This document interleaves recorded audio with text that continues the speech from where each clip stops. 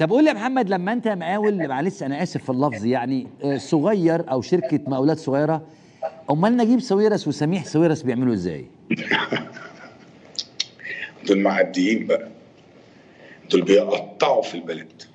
وانت مش شايف كمية الحاجات اللي هم بيعملوها أو الغنى الخيالي اللي هم بيوصلوا ليه؟ ما أنا كنت هبقى كده يا محمد. لا أنا بص يا محمد أنا ما بحبش الكلام ال- ال- في العموم نجيب. ساويرس أنت مقاول صغير بالنسبة لنجيب طبعا أنا مش قصدي إنه ما أنا صغير بقول لك ما أنا بقول لك أنت بص أنا قد إيه ما بالك في ده يبقى عامل إزاي بقى لا، قيس بقى الحجم المشاريع قول لي. قول لي هل أنت لديك واقع عن نجيب ساويرس أو سميح أو انسي مع الجيش فيها فساد بالشكل ده؟ شغالين مع الجيش وعاملين مدينة العالمين وشغالين معاه في الكيان العسكري واشتغلوا معانا في القصور وشغالين معانا في العاصمة الإدارية. ومبسوطين بيهم وفرحانين بيهم وبينفذوا كل اللي هم عايزينه. طب النهارده النهارده نجيب بينتقد الشغل مع الجيش أو تدخل الجيش في الشغل؟ النهارده؟ عشان ما آه. فلوس. لا النهارده نجيب ساويرس بيقول إن الجيش بيتدخل أو الحكومة بتتدخل يعني وإنه بيقط يعني مش سايبين قطاعات. طيب هو نجيب سويرس ما عملش معاهم شغل بقاله سنين. النهارده بس صح من النوم اكتشف إن الجيش شغال في كل القطاعات. ليه؟ هو نجيب سويرس ما سمعش إن هم بيشتغلوا في الجمبري وفي السمك. لما سيسي راح هناك وافتتح المشروع بتاع الميله ده بتاع السمك أنا فاكر كان اسمه إيه كان فين؟ مش فاكر يعني.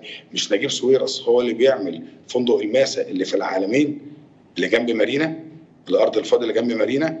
هو نجيب سويرس صحي النهارده من النوم يعني واكتشف إن الجيش بيشتغل في قطاعات وما ينفعش. امال كان نجيب سويرس فين السنين اللي فاتت. كان ميت الله يرحمه ولا كان إيه؟ مش واخد بالي معلش. ولا أنا كنت اهم من نجيب سويرس.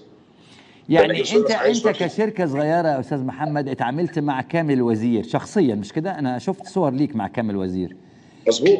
آه خيالك ممكن يروح فين إذا كان أنت مع شركة صغيرة اتعاملت مع كامل؟ فما بالك بنجيب؟ ممكن يكون بيتعامل مع مين؟ كمل مع السيسي direct ومع كامل وعشان كده عمل الجونة. لو محمد علي كمل 10 سنين كمان 11 سنه يبقى عندي جونه الثانية إن شاء الله جنبيه. ما هي الناس ما بتعرفش تدير ونعرف بصح- براحتنا.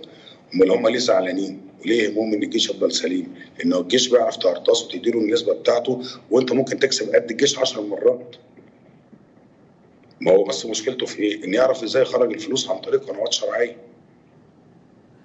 آه لكن فأصحاب الشركات هم القنوات الشرعية اللي بتخرج لك الفلوس. عشان كده يقول لك لا ترى لا تسمع لا تتكلم.